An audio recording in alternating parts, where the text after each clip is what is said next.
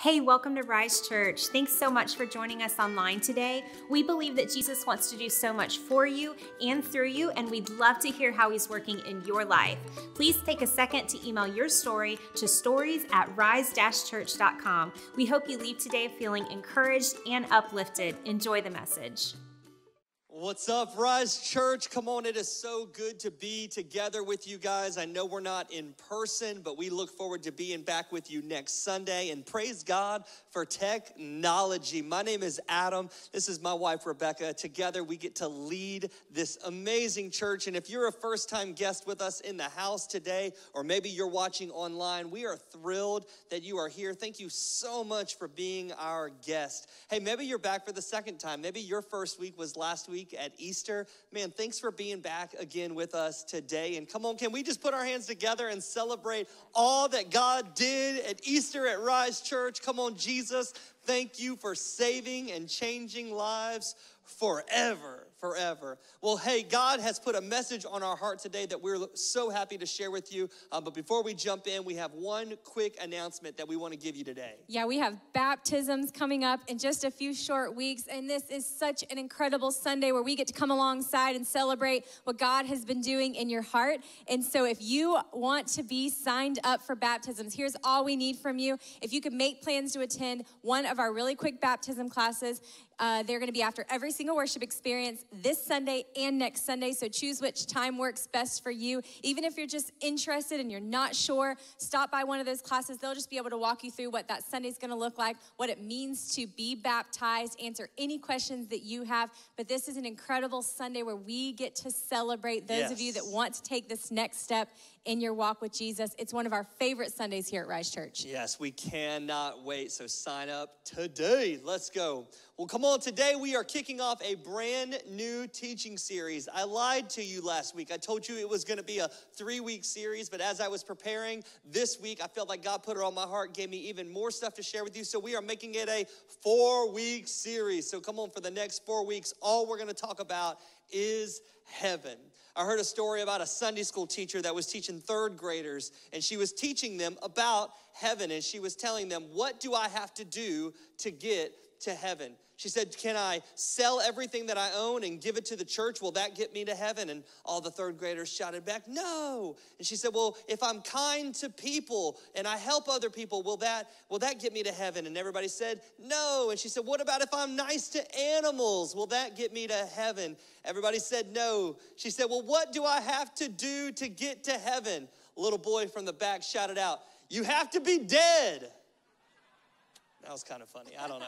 I don't know. Come on, today we want to clarify what heaven is, what heaven isn't. Over the next four weeks, we just want to share with you um, really how we can get our eyes and our mind and even our lives focused on eternity. This morning, Rebecca and I want to give you three truths about heaven. Come on, if you're taking notes, write these down. The first one is this Heaven is real. Come on, heaven is real. Yes. It is a real physical place where we get to be with God forever. Heaven doesn't have to, in our minds, I remember as a child thinking that it was this far off, magical place that maybe one day I would get to go to. No, it is a real place, and God is preparing a place for us in heaven with him. 1 Corinthians 2 9 says, No eye has seen, no ear has heard, and no mind has imagined what God has prepared Amen. for those who love him. Amen. Come on, we cannot even imagine what God has in store for us. If you continue to read through the scriptures, and we're going to talk about this in the weeks to come, God gives us a glimpse of what eternity is going to look like. He gives us a glimpse of what heaven looks like and what it appears like, but we cannot even grasp that with our physical minds just how incredible it's going to be when we get to get to heaven.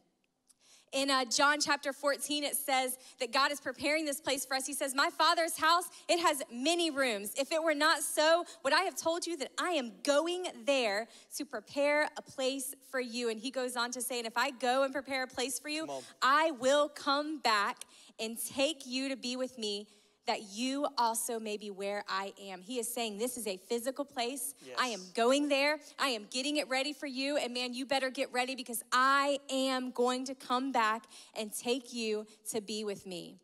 I love to host. Um, I know my husband joked last week that I like to stay home in my pajamas all day, and that is true. But I also do love to host a good party, whether it's a birthday party for someone that I love, for my kids. I love to host and entertain here at Rise Church. If you were here last Sunday for Easter, you saw that we love to host you on, on weekends like Easter, where we get to put out some extra decorations and make the place just feel pretty. Preparing for that week is so fun to me to get the fresh flowers and the yummy drinks and to do all of this to prepare a place for those that we love and that we value so that they feel welcomed in our house. This is what Jesus is doing Amen. for us. Amen. He is preparing a place for us. Why? Because He loves us, because He values us, because He wants to be with us. And He is doing this for us right now, preparing this place for us. And that is a hope that we get to cling to. It takes faith to believe in something that you can't see. So our faith has to be in this that if Jesus said he was building and preparing a place for us, then we have to take him at his word. And I don't know about you, but I'm just crazy enough to say, Jesus, if you said it, I'm going to believe you. A few years back, there was a book that came out that they eventually turned into a, into a movie called Heaven is for Real. If you read the book or you saw the movie, you know it's this story of this four year old boy who, who dies basically and, and he has an experience. He, he, he sees heaven and supernaturally he comes back to life and he starts telling his parents things that he saw. And his parents are like, There's no way you could have known these things, things about past family members and, and other things that had gone on. And, and, and they come back and, and, and their only example is, or their only response is, Man, heaven must be for real. Like this boy has seen something. The Apostle Paul has this same experience. In Second Corinthians 12, he actually says it like this I was caught up to the third heaven 14 years ago. Now, the first heaven uh, we know is, is the earth. The second heaven is, is the universe and the and, and solar system, galaxies, everything like that. The third heaven is, is, is, heaven. And Paul says, 14 years ago, I actually went up there. Whether I was in my body or out of my body, I don't know. Only God knows. Now it's going to sound like Paul's tripping a little bit. It's going to sound like he's on something, but but continue reading with me. He says, "Yes, only God knows whether I was in my body or outside of my body, but I do know that I was caught up to paradise." And I heard things so astounding that they cannot be expressed in words, things no human is allowed to tell. Paul's experience was that he literally was getting stoned. Like people were trying to kill him for preaching the gospel. And, and literally, I, I, think Paul dies. And, and I don't know exactly what happened. And Paul's even saying here, I don't know what happened either. All I know is I went to heaven.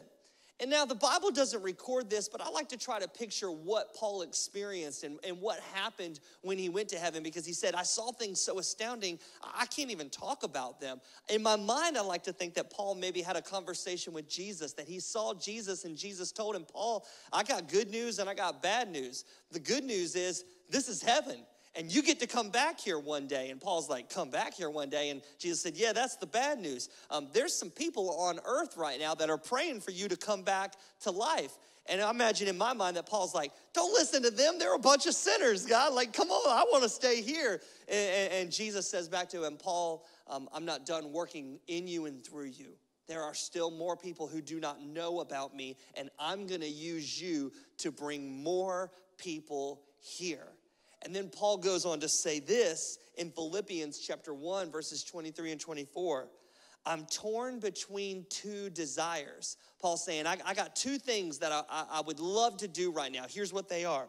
The first one is, I long to go be with Christ, which would be far better for me. But for your sakes, here's the other desire it is better that I continue to live. Why would Paul say, that I long to be with Christ? Well, I think it was because 14 years ago, he saw heaven. I think it was because 14 years ago, he saw Jesus and he saw how amazing his heaven was and he knew it was real. And he said, That's where I really want to be. I think if we could get just a glimpse of heaven, then we would realize that nothing on this earth compares. And it would be a lot easier for us to be able to say our goodbyes here, knowing that heaven is waiting for us because heaven is real. Second thing we want to share with you, the second truth about heaven is this that heaven is promised to God's children. So we already read in John 14 that, that Jesus promises heaven to us as his children. He says, I'm going to go prepare this place for you. And and this is a free gift. This is part of our salvation that we didn't do anything to earn this promise of heaven. He just gives it to us. There's nothing that we can do to gain it. There's nothing that we can do to lose our spot in eternity with Him. It is a promise Amen. that He gives to us as His children. And He goes on in John 14, He's talking to the disciples and He's letting them know, hey, I'm here with you now, but um, in just a short while, I'm going to be arrested and I'm going to be crucified and I'm going to die, but then don't worry, I'm going to be raised back to life but then I'm going to leave you again and I'm going to leave my Holy Spirit with you. And, and then he says, I'm going to come back for you though. I'm going to be in heaven waiting for you, but I will come back for you. And Thomas is like, Lord, how in the world we, do we know the way to get to heaven? And I feel Thomas, he's so confused here. He's like, how do we know the way? And if this were in today's terms, and Thomas was asking the Lord for, like, I need some directions. If this were me, I'd be like, Lord, don't tell me to go east or west or anything like that. Like, tell me to turn at the Chick fil A or tell me to turn to the Target. Like, give me some clear directions here. And the Lord is so patient with Thomas, though he replies and says, Thomas, you know the way. You know the way. I am Amen. the way, Amen. the truth, and the life. No one can come to the Father except by me. Amen. Jesus is the only way for us to get to eternity. This is a promise that He gives to us when we become children of God. When we say yes to Him, you are personally invited to be in eternity with Jesus. So heaven is the promise, and then Jesus is the path to get to the promise. That's right. He is the only thing that will get us to eternity. And this promise though, he says it is available to anyone who wants it. In Revelation 3:20, it says, "I stand at the door and knock. If anyone hears my voice and opens the door, I will come in to him and eat with him and he with me." Jesus is saying, this invitation to have a relationship with me, it is available to anyone. Yes anyone who responds to the call of Jesus in their life, this promise of becoming a child of God and entering into eternity with Jesus, it is available to us all. And come on, when we're welcomed into the family of God, what an incredible promise that He says, You get to spend eternity with me. I'm going to be waiting arms wide open for you. And here's what that means if you're already a follower of Jesus, if you would say, Man, He has come into my life then that promise is available to you. If you're not a follower of Jesus yet, that promise is still available to you. The invitation is there. All you have to do is say, Yes, God, that is what I want for my life. I love how Peter says it in 1 Peter chapter 1 verses 3 and 4. Blessed be the God and Father of our Lord Jesus Christ, who according to his great mercy, come on, how many of you are grateful for the mercy of God? According to his great mercy, he has caused us to be born again to a living hope through the resurrection, come on, somebody, of Jesus Christ from the dead to obtain an inheritance which is imperishable and undefiled and will not fade away. Here's what I love I love this part right here. It is reserved in heaven for you. You ever been to a, a fancy restaurant? You ever been to like one of those like real nice restaurants and you dress up a little bit for it? You know what I'm talking about? And you walk in, and the first thing that the host or the hostess say to you is this Do you have a reservation? And if you don't, you got to go wait outside or in the line with all the other suckers. You know what I'm talking about? But if you have a reservation, you say, "Oh yes, we have a reservation. Peterson, party of four at 6.30. Who we kidding? We probably eat about 5 o'clock. We're, we're, we're old like that. And you have that reservation and, and you walk in like royalty, like, what's up, everybody? I got a reservation. Yeah. When you have that reservation, it doesn't matter how crowded the restaurant is, there is a peace and a confidence and an assurance that there is a table that is waiting for you. If you have called upon Jesus to come into your life, to be your Lord, to be your Savior, if you have called upon Him to forgive you of your sins, come on, you can have a peace, You can have a confidence and you can have an assurance that heaven is promised to you. Jesus Himself has called ahead and He has made your reservation for you. Come on, can we praise Him and thank our Savior for the promise of heaven. God, you are so good. Let me shift gears for just a little bit and talk to you who also this promise is for is for God's children, all God's children, every single one of us. I love how it says it in Revelation 7, verse 9. After this, this is John, the revelator. He gets a peek into heaven. He sees it and he writes it down as fast as he can. He gives us this glimpse. He says, After this, I looked, and there before me was a great multitude that no one could count. Come on, thank you, God, that heaven's gonna be crowded from every nation, tribe, people, and language standing before the throne and before the Lamb. Come on, in heaven, we are not going to all look the same. Somebody say, Praise God. I don't want to look like you. I don't want you to look like me. We're all gonna look different. There's not a white section, there's not a black section, there's not a Hispanic section. It's all God's people together as one. And if you got a problem with that, you can take it up with God because heaven is His house and all of His children are welcome there. And if you're saying, well, uh, if they're going to be there, I don't want to be there. Well, you're right. You probably aren't going to be there. You need to figure this out now. Come on, thank you, God, that all of your children get to experience heaven together with you because heaven is promised to God's children. The last truth we want to share with you this morning is this that heaven is our hope.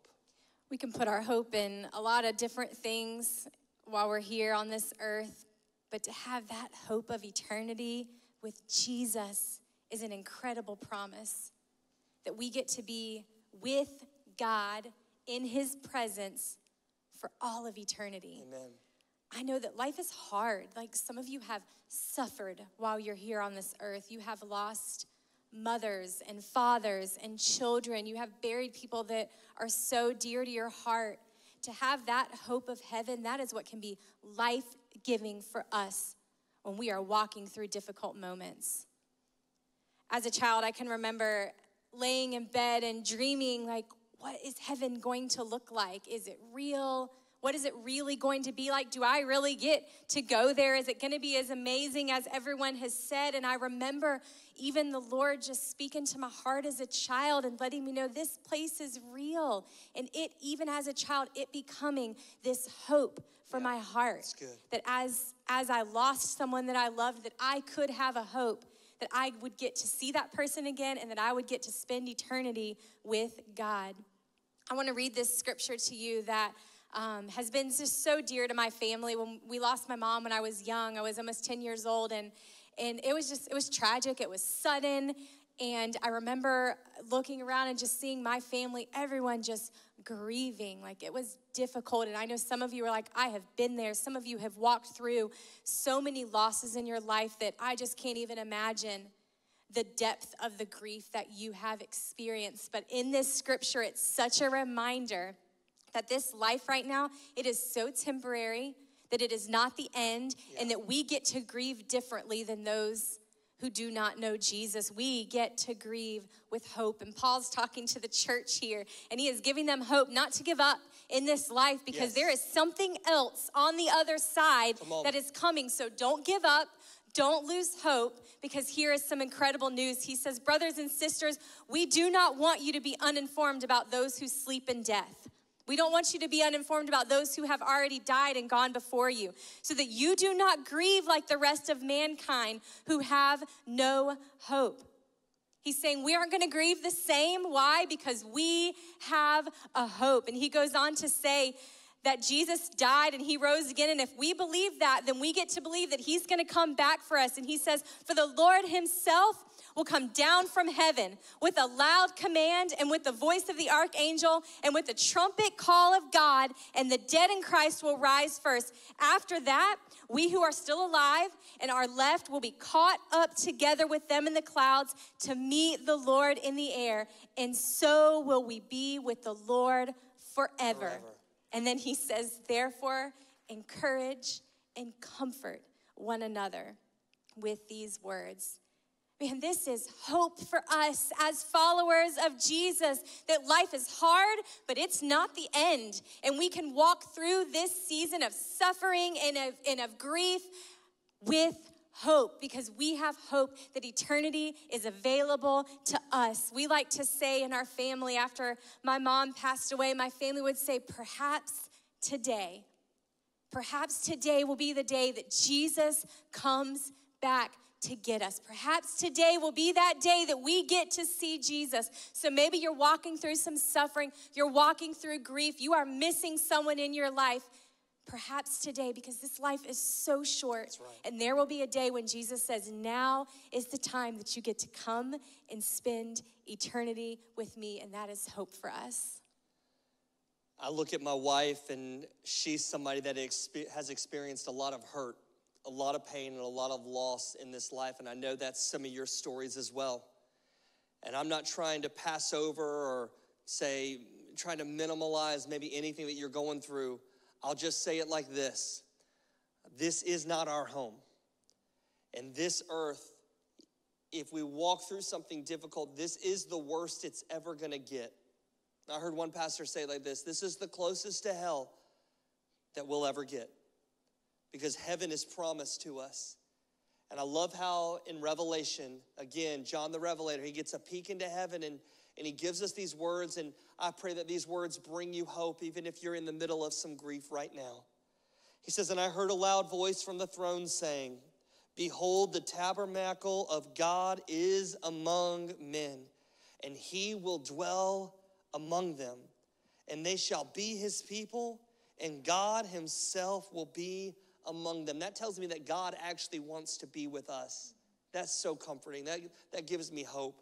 And then he goes on to say this and God himself, he will wipe away every tear from their eyes, and there will no longer be any death, there will no longer be any mourning or crying or pain.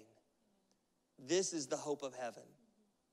Our family loves to go on vacation. We look forward to it every summer, like so many of you do. And Rebecca really loves to just get away and experience new things and new places. And we love to eat at restaurants that we don't have here in Jacksonville.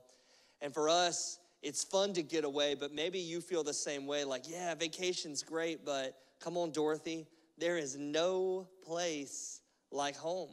I love being in my house. I know Rebecca loves being in our house with her pajamas on, just hanging out, especially with our new, our little puppy now. It's good to be home. There's no place like home. And I think that sometimes the heartache that we experience here on this earth is because this isn't our home.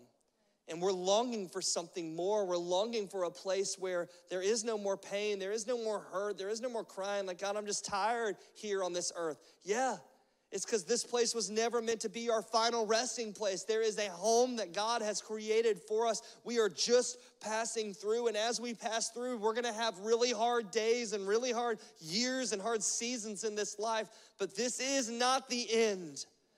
Heaven is promised to God's children, it is real, and it is our hope. And I pray that as you set your eyes and you set your heart and your mind on eternity, that that is what is able to propel you through this life here on this earth. And that God meets you every step of the way. That He fills you with hope now for the hope that is to come. Thanks for watching today. If you'd like to continue the conversation, you can like us on Facebook or follow us on Instagram. If our church has had an impact on you and you'd like to support all that Jesus is doing in this place, you can do so by going to rise-church.com com slash give and select the giving option that best suits you. Thanks so much for joining us online, and we hope you have a blessed week.